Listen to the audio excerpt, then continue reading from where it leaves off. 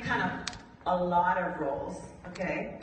But um, typically, you would have assistant director that says, you know, they would say, um, roll camera, and he would be like, rolling, and then they'd say playback, and then she'd like,